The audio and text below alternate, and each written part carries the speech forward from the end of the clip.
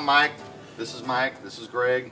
And we're down here uh, right north of the Gateway Arch on a little side job, little project we did for some people that we thought could use a bath. This is a self-contained shower that we put down here in downtown St. Louis at a ware, an abandoned warehouse for the homeless people. And uh, we just bought, the three of us bought all the product, the materials, and put it together. Took about two days to build, get everything together and build it.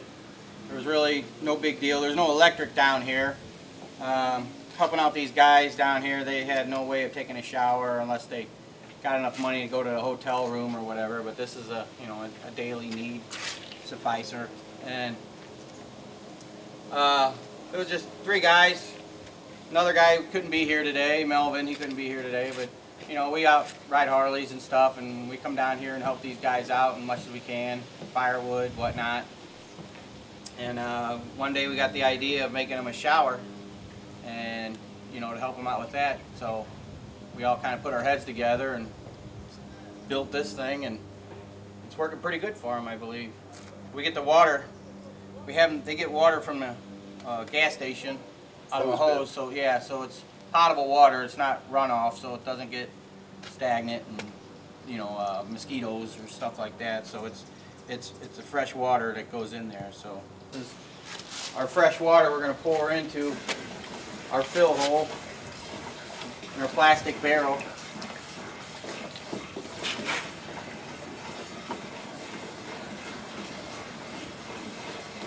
Fifty-five gallon drum. We painted it black so it attracts some sunlight. We're right here on the riverfront downtown, St. Louis. This is the uh, pickup tube that has a, uh, a one-way valve on the bottom. So when the water pulls into the, the hose, it doesn't drain back into the barrel. Put a rubber, flexible rubber, just a regular washing machine hose on there so you can pull that tube out. And then we hooked it up to the PVC that we ran through the wall into the shower area. This hole was covered with tin. We put some glass blocks in there.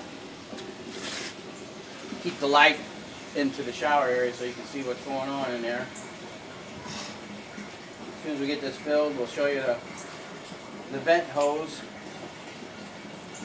Because you need a vent or else it'll just suck a vacuum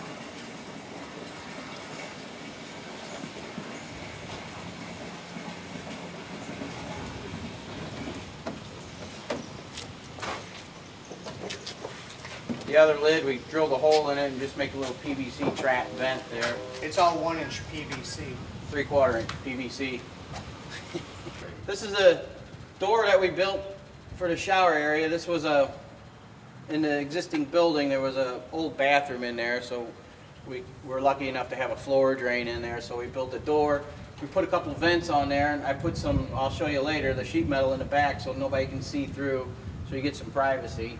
We put a padlock on there. There's a couple people that have keys, so that, you know, there's nobody just hanging out and going in there and tearing stuff up.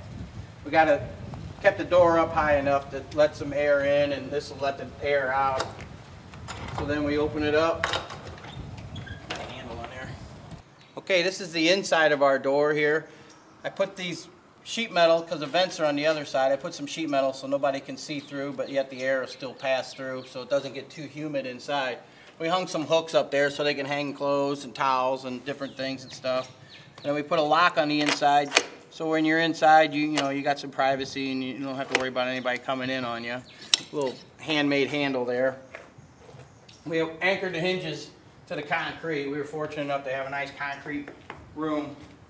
The uh, room's probably about six foot by six foot. It was a originally an old bathroom, so we have a floor drain underneath. We got a couple rubber mats here. There's a plastic skid to raise it up off the ground so you're not on the ground, and some rubber mats with holes in it so the water goes right through. And then uh, this is the PVC that was outside, comes through, just elbows, anchored it to the wall so nothing gets pulled off. And this is a uh, Guzzler bilge pump. It's a hand It's a- like an emergency bilge pump for a boat, actually. It has a one-way valve here and a one-way valve here. It's just a big rubber bellow, goes up the PVC to the shower head.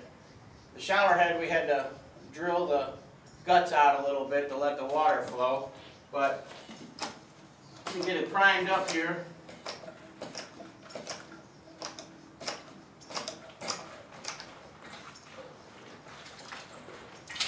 And as you can see, the water comes out pretty good.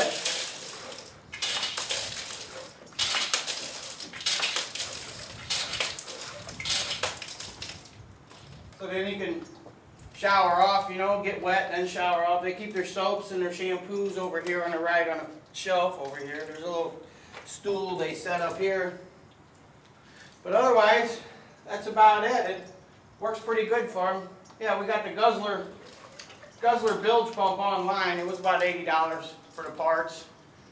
About thirty something dollars in PVC, and then the barrel, you can find those online from twenty bucks or thirty-five bucks, something like that.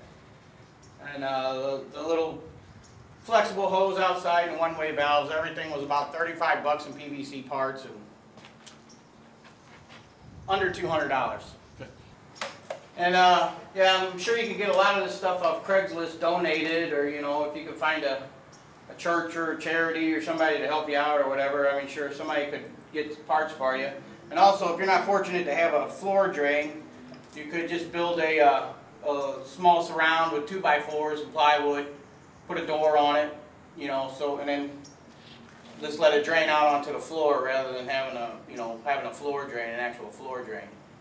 But we painted everything in here white also too, and put some mirrors up so they can shave and, and it keeps the light in here pretty good. So that's how you do your homeless shower. Self-contained. Self-contained homeless shower.